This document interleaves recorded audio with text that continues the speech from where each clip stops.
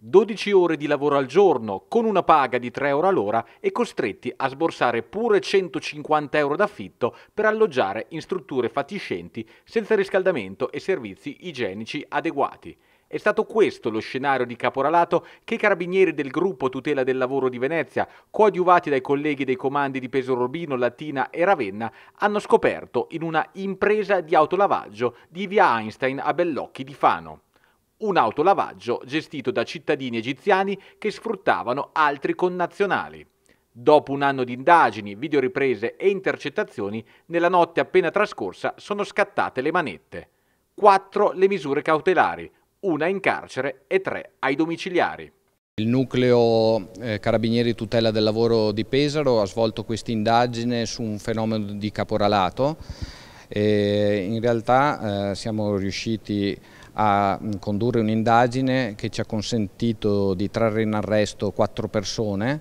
eh, quattro cittadini egiziani che sfruttavano dei connazionali all'interno di un autolavaggio come manodopera, sottopagandoli in realtà la metà di quanto dovuto, ospitandoli in alloggi degradati ed ostili, eh, facendo pagare loro per questi alloggi anche 150 euro al mese e eh, impiegandoli per 12 eh, ore al giorno a fronte di eh, una paga ridotta e assolutamente inadeguata per la prestazione lavorativa che veniva fornita.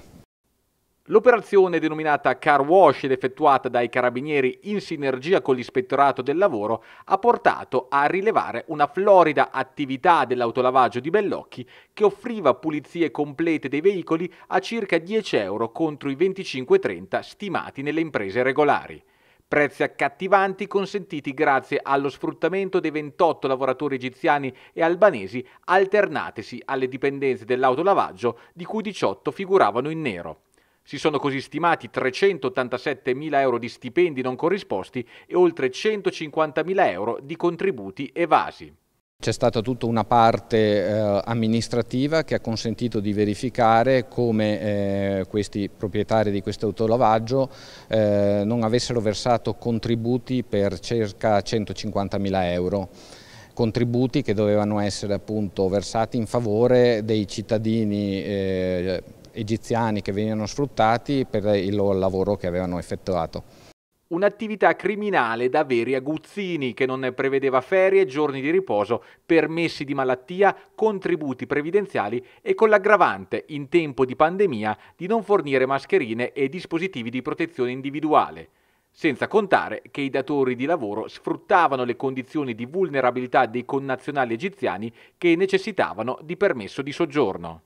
L'attività è stata un'attività eh, molto importante che dà un riscontro di come l'arma dei carabinieri e in particolare la specialità della tutela del lavoro sempre supportata dall'arma territoriale